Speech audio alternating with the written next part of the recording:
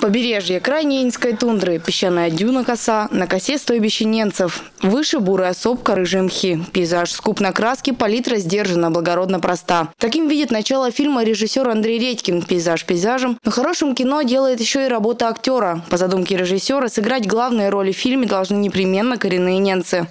А главное, это наш, э, наш герой. Наш герой. Э, оленевод, ненец, более того, из большеземельской тундры, как мы теперь понимаем.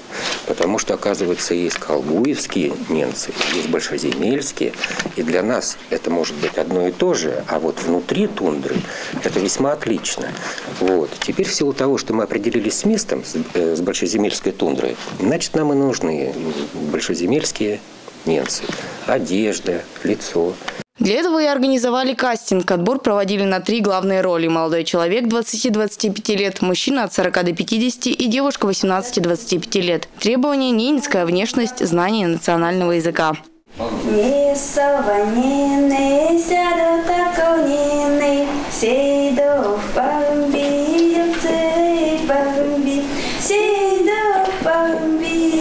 Мария Бобрикова, уроженка Неси, по всем параметрам подходит. 18-летняя студентка социально-гуманитарного колледжа. Кроме того, и в Ненецком театре Илиб занимается. Поэтому и пришла на кастинг. Кажется, как-то глупо было бы упускать такую возможность. Это вообще, э, мне кажется, замечательно. Тем более фильм будет сниматься как бы, ну, о ненцах там, вот это все. Ну, как бы, мне кажется, это будет интересно и опыт.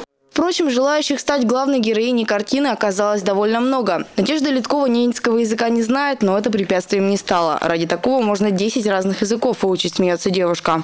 Ну, хочу сказать, кастинг – это не страшно. Я думаю, если человек хочет получить роль, он должен быть уверен в себе. Я мало что знаю об этом фильме, и что за режиссеры, что будут снимать. Мне просто очень интересно, поэтому я старалась показать себя с лучшей стороны. А вот претендентов на мужскую роль оказалось меньше. Впрочем, съемки фильма начнутся только в мае 2015 года, поэтому у режиссера есть еще масса времени подобрать достойного главного героя. Алина Волчейская, Антон Водряков, телеканал «Север».